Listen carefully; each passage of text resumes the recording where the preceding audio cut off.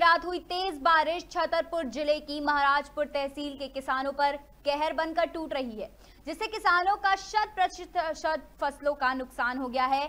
महाराजपुर तहसील अंतर्गत आने वाले लगभग एक दर्जन से ज़्यादा गाँव प्रभावित हुए हैं, जिसके चलते फुलारी गाँव में किसानों ने चक्का जाम लगाया। हताश किसानों ने सड़कों पर चक्का जाम लगाकर अपनी आवाज़ को, अपनी पीड़ा को शासन प्रशासन तक पहुँचाया। छतरपुर से संवाददाता मुकेश भार्गव की रिपोर्ट।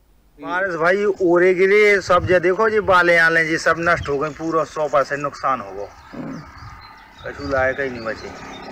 आपकी काय काय की फ़सल भी हुई थी? हमारे राई लाहा जवा गेहूँ चना वगैरह? चना भी है थी चना वगैरह भी थी। हाँ। सब फ़सल बर्बाद हो सब देखा पूरी टोटल सब बर्बाद है।